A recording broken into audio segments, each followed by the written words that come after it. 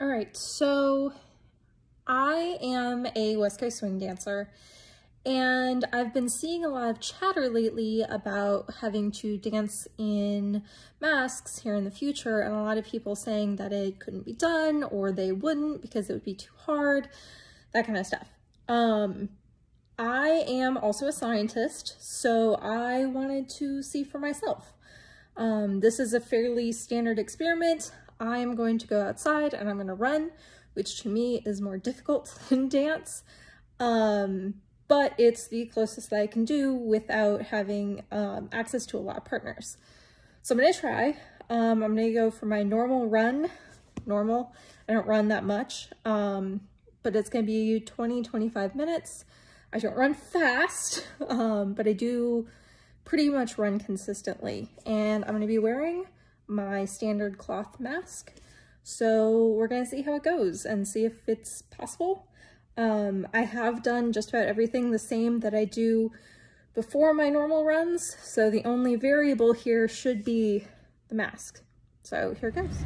All right, so it's been about 10 minutes. Run one lap of my apartment, which is right around three quarters of a mile. The running part wasn't bad. This is actually way worse right now. So I'm just getting kind of humid doing this in Louisiana and it has just rained. Um, gonna do my walking lap, then my second run lap.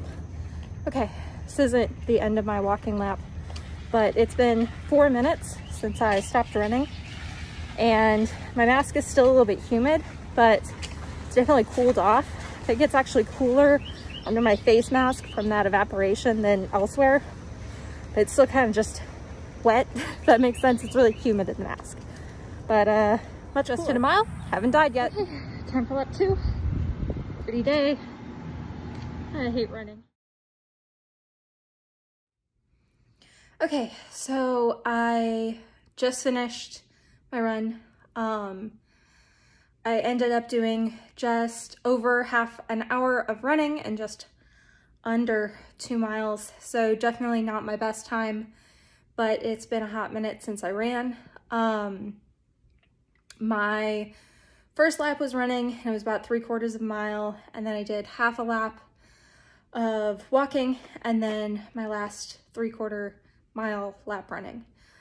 Um, overall, the worst part about it was that first like five or so minutes of walking on that half lap.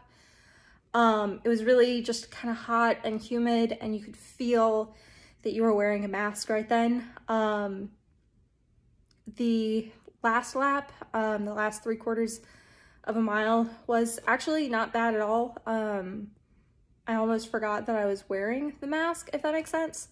Um, it was slightly harder to breathe. I will absolutely admit that. Um, but it wasn't so hard to breathe that I wouldn't do it, um, especially if it meant that I could do other activities that I enjoy. Um, I do have to admit that I am going into the conclusion section of this video a little bit biased. I am very pro wearing mask. Um, I'm not gonna hide that. Um, but I did want to see for myself if it was possible because I didn't want to just fall back on that thought process and that bias without experiencing something similar-ish. Um, there are some obvious issues that I thought of on the run.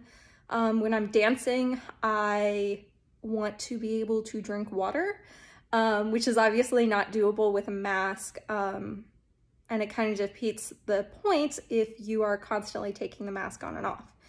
Um, so I do know that um, there's a lot of other issues that can come with that. And if you're one of those people that says that they can't wear a mask because they already have hard time breathing or they have asthma, I absolutely agree with you, as do most doctors and scientists. If you are someone that can't wear a mask normally, or sorry, if you're somebody that can't breathe normally, you shouldn't wear a mask. Um, anything that further impedes your ability to breathe is bad. But that's why it's important for me and other people that can to wear a mask. Um, so I guess draw what you will out of this video and out of this experiment. I will personally continue to wear my mask and hopefully I get to dance soon. Thanks guys.